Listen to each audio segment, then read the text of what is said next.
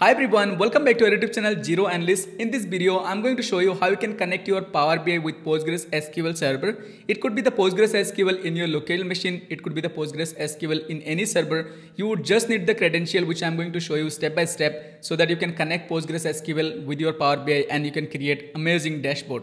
So launch your Power BI and you just need to go to this get data. So click get data from other sources. You have by default these options. Click on get data from other sources because we're going to get the data not from a blank report, not from Excel, not from SQL server, but Postgres SQL. So once you launch Power BI, you will get all these options to get the data, either Excel file, either SQL server or uh, paste data into a blank tables.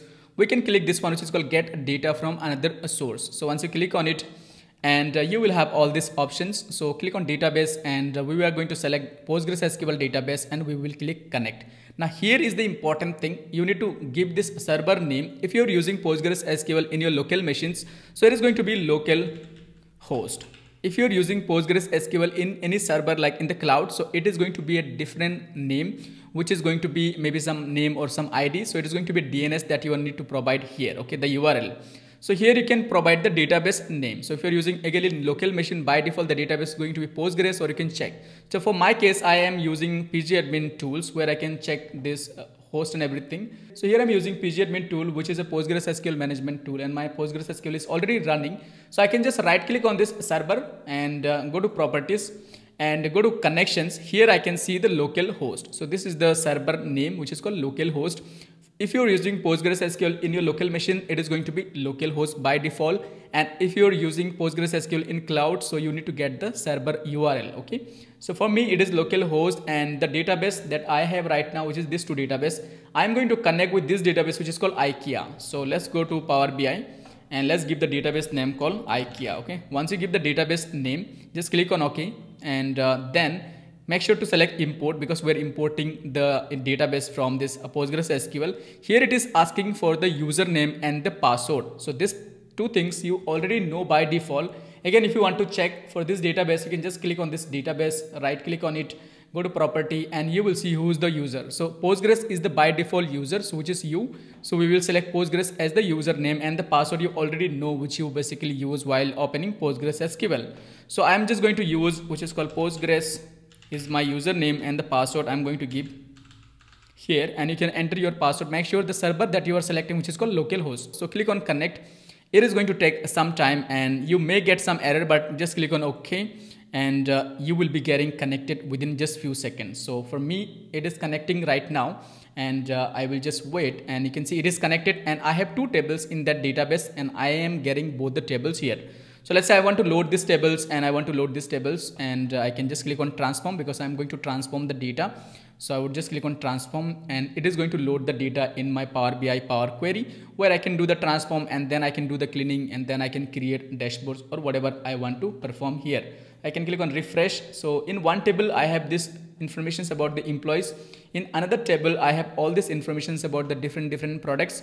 If you want to see in pg admin 4 as well, also I can go inside it and I can basically show you the tables that I have right now, which is Apple product and the employees. So if I just show you, I have the same, which is called select everything from Apple product. Okay. I will just run it. I will have the same product. You can see right now we have the same product. Now in Power BI, you have two options. One, you can, you can get the entire data that I have shown you earlier, or you can just write a SQL query as well.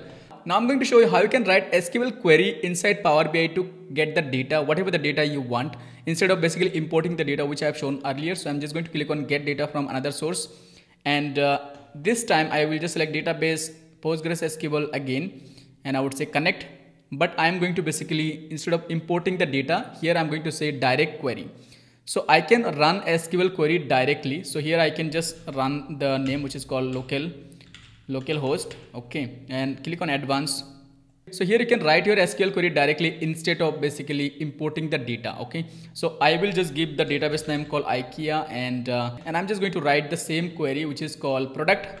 And uh, let's say I want to only select for specific product which is called product type so product type equals laptop okay only for laptop what I want to select and I would say where condition here okay so this is the query that I would write directly inside Power BI so that I only get this three product. Okay. So let's go ahead and copy it. Go to Power BI and write it here. So I would again need to kind of give the password and everything because I have deleted the previous password. So just to show you here. So it is asking for the user. So user same, which is called Postgres and the password, which is going to be same for my password. I'm going to give it here and this connections remain same. I will click on connect.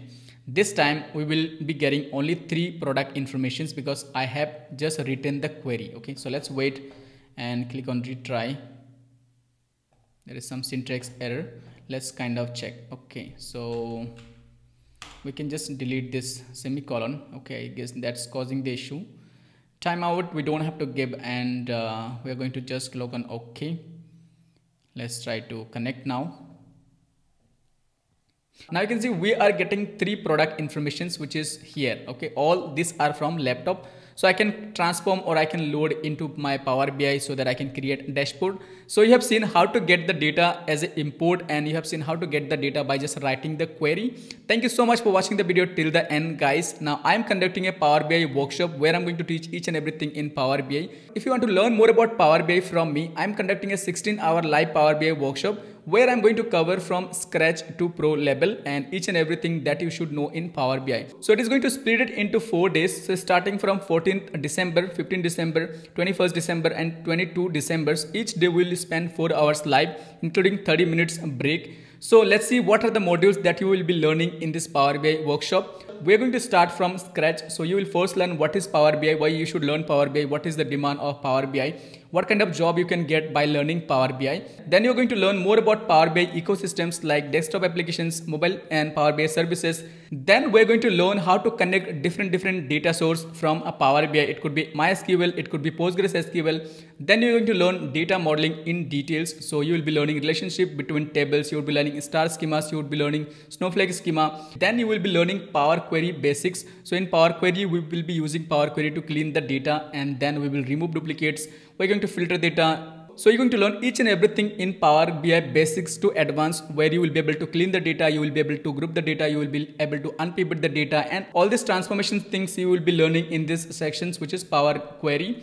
Let's see the next thing that you will be learning. So which is going to be advanced Power Query. So we'll be learning more about data cleaning in Power Query in the advanced data cleaning. You're going to learn a little bit about M language. You will be learning conditional columns. You will be learning merging and appending queries. You will be learning unpivoting and data analysis you're going to learn grouping data in Power Query. Then we're going to create multiple highly interactive dashboard in these sections and you're going to learn DAX and automations. So if you want to enroll, check the link in the video descriptions. That's it for this video guys. Have a good day. Take care. Bye-bye.